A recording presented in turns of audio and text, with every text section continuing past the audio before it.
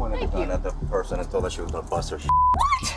I did not say that. All right, he's starting to move. Yeah, he's running. He just fell down. Come on, mother. Okay. You, Think I can't do it? I know. Don't wanna I got a do black this. belt in karate. Black belt judo. Florida man! Wild stories involving residents of the Sunshine State have been making headlines for years, and for good reason. We're breaking down the top 10 Florida man or woman arrests caught on camera. Welcome to After Hours, presented by Law and Crime. I'm Sam Goldberg. First, we're in South Beach, Miami, where a man allegedly tried to steal a jet ski, then jumped into the ocean and took off his swim trunks. It's Sunday, April 2nd, 2023. Police responded to a report that a man had tried to take a jet ski available for rent without permission. What he tried to do was grab one of the keys from the jet ski. He tried to push the jet ski out so he can roll. So at that moment, he tried to stop it. Right? He went to the water. So, so you guys never, you, ne- you guys never gave him consent. Nothing. Not at all. Never paid for it. So, and I bet you every probably everything is recorded. He actually grabbed the key. Yes. And he tried to grab the paper from the key. He grabbed the paddles, was trying to hit us. He broke one of the paddles. The business manager tells police the man broke a paddle and tried to hit him in the head with it before going into the water. Police on shore wait for Marine Patrol to arrive, but the water is too shallow for the boats to get too close. That's when the suspect decides to strip down in full view of everyone on the beach, including children. I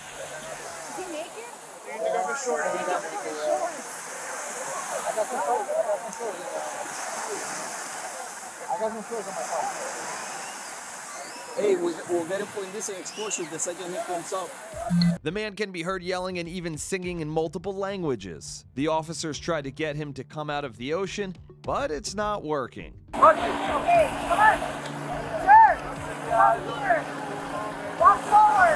Eventually, several fellow beachgoers took matters into their own hands. They surrounded the suspect in the water and eventually dragged him to the sand.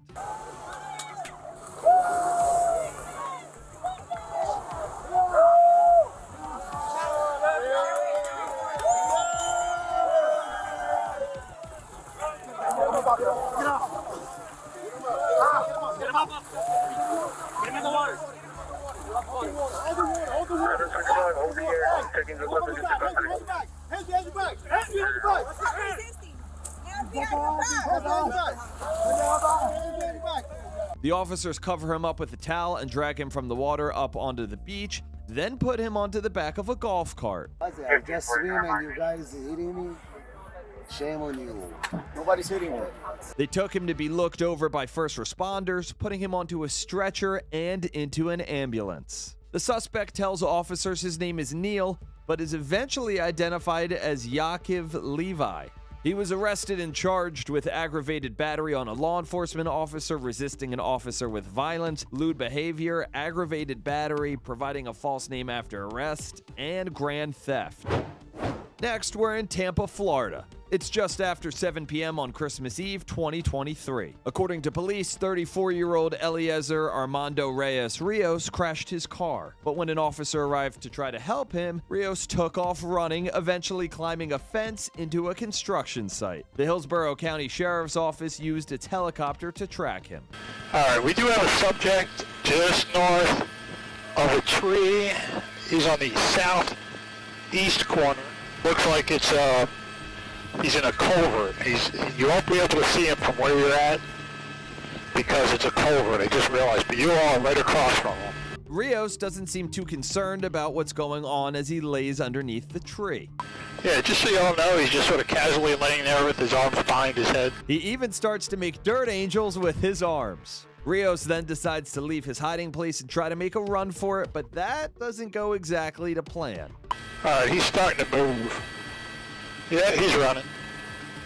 He just fell down. He's running towards the west. The sheriff's office sent in an officer with his canine who was able to take Rios into custody. Get on the ground. Shut up. Get on the ground or you're going to get bit. Get on the ground or you're going to get bit. Hey, this is your final warning.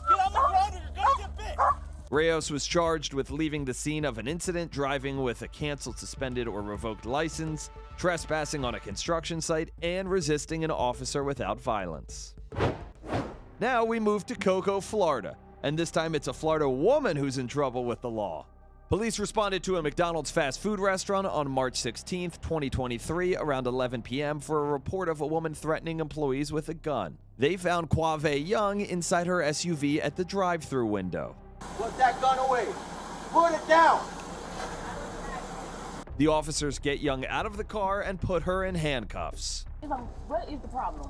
Apparently they saw your gun and they thought you It's in the it's in the car. I have it in my car. That's where I have it. Okay, I'm just telling you. It's no big deal. She asked me got what- mad because she she got mad because I asked for my order. That was the problem. I didn't do nothing. All I said was I'm still waiting on my number one order because I asked for it and I'm trying to go home. She got mad. It was awesome crazy. I'm like, what are you talking about? So I, I'm I'm wait. I'm still here waiting. I got a gun from it. I'm still waiting. We don't know all that. I don't care. That's the crazy part. She can she can say what she wants to say. That's weird. The I'm still here waiting on my damn order. Young is insistent that this is all some sort of misunderstanding. What is I'm being stopped for? What is the problem? I just told you. No, you did not, sir. No, you didn't. She saw your gun Okay. and that you were threatening her with it. I did not threaten her with nothing, sir. Well, At all. I did not threaten her with nothing. that's what we're here to No. I've been sitting in the car. Why why would I threaten someone I'm still sitting in my car waiting on my damn order? That doesn't make any sense. I don't know. She don't she's not making why- any sense. That's what we're here to figure out. According to the employees, Young ordered a meal that wasn't on the menu and became irate when they told her she needed to order something else. She reportedly drove up to the first window and again demanded the off menu meal. She pointed Thank the gun you. at the person and told her she was gonna bust her. What? I did not say that. She's a damn liar. You wanna watch the video? No, she's not finna sit here and lie on me like that. No, she's not gonna do that. And I'm finna call my mom right now because if she that's weird as hell. Excuse me, get my um no, I'm gonna get my I'm gonna get my um phone. Thank you, so she's a he's a liar. She's a f***ing liar. An officer goes inside to talk to the McDonald's employees and check out store security video. And it's not good news for Young when he comes back out. Do you want to put her in the car? Yep. Okay. For what? This car. You're under arrest. For what? What what did I do? What did I do? Can you tell me why I'm Aggravated assault. Assault of what? What you said assault? Uh, yeah. Assault. Like how is that assault? I didn't Oh, you you telling somebody that you're gonna hurt them? You got a gun right next to you. I didn't tell her I was gonna hurt her. Oh, that's what her I don't- affidavit's saying. And that's the call that we got. Young was taken to jail where she continued to repeat that she hadn't done anything wrong while she was being booked. I didn't even do nothing. All I said was, all she did get my order right. Then I have I already. I mean, it was in my car anyways. I ain't say that I was gonna shoot her or even point it towards Well, her. that in and of itself is a second degree misdemeanor to have it open in your vehicle. I didn't assault her. Go. So I just get a lawyer. It's okay. Mm-hmm. You know, you can't do nothing about it. And I can't either. I just get a lawyer. Young was then charged with aggravated assault with a deadly weapon, open carrying of a firearm, and driving with a suspended license. She's expected back in court for a status hearing at the end of January. So I think it's pretty clear from watching After Hours, as I know everyone does every single week, the world isn't always the safest place. It's important to realize if you're ever seriously hurt, your injury could actually be worth millions. That's where Morgan & Morgan, a proud sponsor of After Hours, comes in. Morgan & Morgan doesn't just settle for lowball offers. In the past couple months, they've seen verdicts of 12 million in Florida, 26 million in Philadelphia, and 6.8 million in New York. And here's the kicker, the fee is absolutely free unless you win. You can start your claim with America's largest injury law firm in just a single click on your phone. They've completely modernized the injury law process so you can submit a claim and communicate with your legal team all from your phone. You don't even have to leave your couch to do so. So to start your claim now with Morgan & Morgan, go to www.forthepeople.com backslash after hours or click the link in the description and in the pinned comments. Next, we head to Davenport, Florida. It's Monday, November 13th, 2023. Deputies responded to a neighborhood where two suspects, a man and a woman, were apparently breaking into cars. Surveillance video captures what happened when police showed up to the scene. The white sedan speeding past the deputies is the suspect car. They're driving around trying to find an exit, but the subdivision only has one. When the suspects turned around, they ended up crashing into a car that was fortunately unoccupied. It's a good thing the deputy decided to move his cruiser because the white car ends up landing where it was parked just moments later. 31 year old Rebecca Kozub was taken to a hospital with a fractured leg from the crash. 37 year old Timothy Hoji was booked for a burglary of an unoccupied vehicle, petty larceny, fleeing police, possession of meth, and resisting arrest. He'll be back in court at the end of February. And get this on his neck is the tattoo, quote, all gas, no brakes. Both Kozub and Hoji have a long criminal history with dozens of felonies and misdemeanors between them. Next, we're in Flagler County, where officials say a man stole an expensive electric scooter from a Target store, then started to assemble it right outside. It's April 3rd, 2023. A witness says a man took a Razor brand e scooter valued at more than $500 out of the store without paying for it. What's going on, man? Do me a favor, stand up. Huh? Stand up. I'm gonna detain you for a second. The man, who was later identified as Patrick Vandermaiden Miller, was cooperative with the deputy to a point. Did you buy this scooter?